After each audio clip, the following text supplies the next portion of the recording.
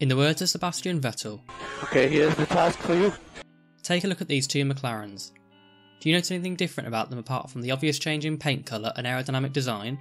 Well, I'll give you a hint. There's a lot more of them on the car. Of course, it's sponsors that I'm talking about. For such a historic team, I'm still amazed seeing the lack of sponsors McLaren had on their car between 2014 and 2017. I know they fell further down the grid due to their move to Honda Power in 2015, but as one of the most recognisable manufacturers in the world with huge F1 pedigree, you'd expect loads of businesses to partner with them, yet their liveries look like generic motorsport manager templates. The key reason to this uptake in sponsors over the last couple of years is mainly due to one man, Zak Brown, McLaren's CEO. You often see him in interviews and around the paddock, but do you really know who he is and where he came from? If the answer to either of those questions is no, this video is for you. I'm going to dive a bit deeper into his backstory and explain how he got to where he is today, whilst also giving my opinion on why he's the perfect man to lead McLaren into the next generation of Formula One. Let's start with the early years. Zak Brown was born on the 7th of November 1971 in Los Angeles, California. He did plenty of racing in his early years in the junior categories. Like almost every professional driver, he started out karting, where between 1986 and 1990 he won 22 races, so he definitely showed enough talent to continue to climb the racing ladder. As with most overseas drivers, he wanted to prove his worth in Europe as he had a dream to race in F1.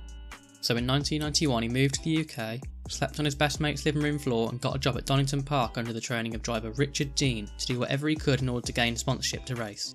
The difficulty in finding sponsors led him to set up his own motorsport marketing agency, JMI, in 1995, but I'll get onto that a bit later. Whilst racing in the junior categories in Europe, he took part in Formula Ford, Formula Vauxhall Lotus, and British F3, and competed against famous names such as Jan Magnussen, Kevin's dad, IndyCar champion Dario Franchitti, Christian Horner, yes, he had a racing career, and the legend himself, Ricardo Tosa Rosset. He also took part in races across the pond in the Toyota Atlantic Championship, where he raced against 1997 F1 champion Jacques Villeneuve, and in 1995 he did one race at Laguna Seca in the Indy Lights Championship. Unfortunately, Zak wasn't too successful in any of his racing efforts, and he only achieved one win in Formula Ford. And when he realised he was not going to reach F1, he decided to focus on GT racing in 1997, where he was a bit more successful, scoring two class podiums at the 24 Hours of Daytona and 12 Hours of Sebring. He continued racing in North America until 2001, when he decided to take a break from racing and focus on his business efforts. Zak returned to the track in 2006, and he was a class leader in the Britcar 24 hour race at Silverstone, whilst he also took numerous wins in the Ferrari Challenge North American Series. In 2009, he decided to set up his own racing team called United Autosports with his old mentor, Richard Dean. The outfit has grown massively over the past 11 years, and it's now one of the largest motorsport teams in the UK, competing in many different championships around the world. While some of the drivers that have driven for the team include Lando Norris, Fernando Alonso, Paul di Resta, and Juan Pablo Montoya. They also restore classic race cars, some of which are actually owned by Zak himself as he's an avid car collector, and with these cars they compete in historic championship races. As a part owner of the team and a driver himself, it was only right that Zak took part in many of these races, some of which include 2010 Spa 24 Hours where he scored a class podium, the 2011 Daytona 24 Hours, and the 2011 Spa 24 Hours where he was partnering ex-F1 drivers Johnny Herbert and Stefan Johansson. It was in 2012 where Brown's relationship with McLaren started, as United Autosports used McLaren 12Cs as their main cars in the Blancpain Endurance Series and British GT Championship, and Zak achieved one win at Donington Park until he took a step back from racing at the end of 2013 to once again focus on the business side of his life.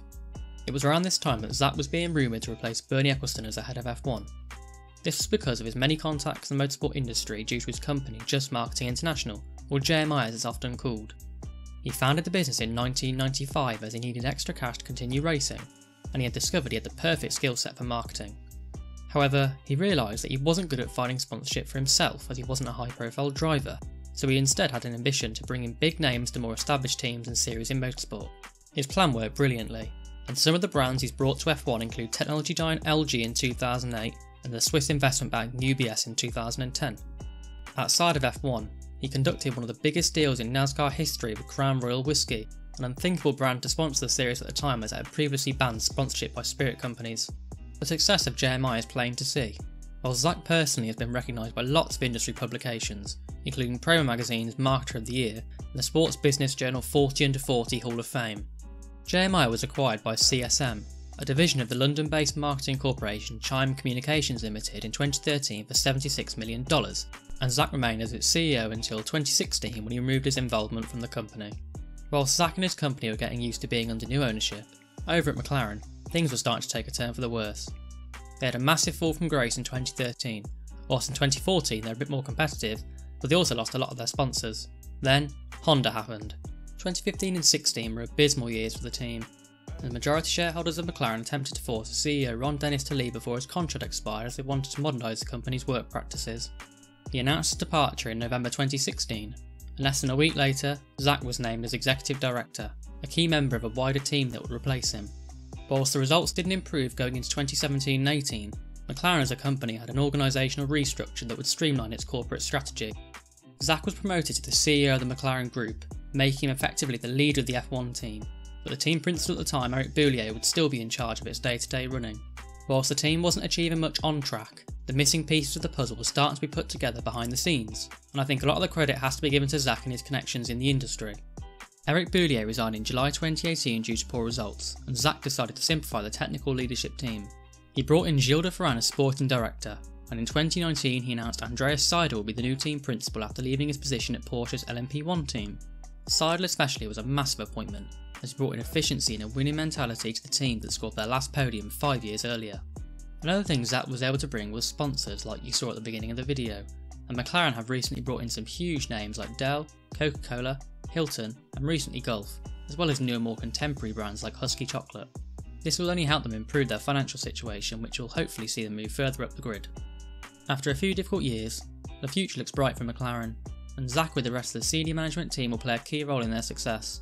The performances on track in 2020 have been great, with Lando Norris in particular impressing me now he's got to grips with being more aggressive when racing, and I don't see any reason why they can't finish in the top 4 of the Constructors' Championship, especially with Ferrari struggling. 2021 will see more positive changes in the team as Daniel Ricciardo will replace the Ferrari bound Carlos Sainz, and I can't wait to see the chemistry between him and Lando. The atmosphere within the team at the moment is so refreshing compared to the Ron Dennis era where it was clinical and cold, and Zak is a key reason to this switch in culture.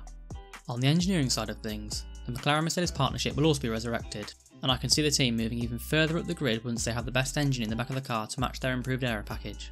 When taking everything into account, although Zak Brown isn't the only reason McLaren are making progress, I believe he deserves a lot of credit for helping the team turn around their fortunes behind the scenes both culturally and commercially. The company looks like a great place to work which can only be a positive thing and helps everyone perform at their best.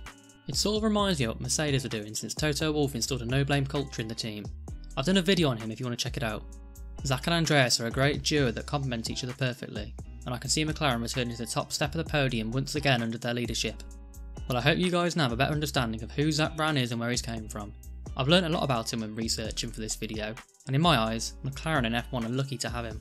Now I want this series to focus on people behind the scenes and on the pit wall, so if there's anyone you guys would like me to focus on next, make sure to let me know in the comments below. If you enjoyed the video, don't forget to like and subscribe. And if you want to get a reminder when my videos drop, hit that bell icon and follow me on Twitter. Links in the description below. Anyway guys, have a great day and I'll see you in the next one.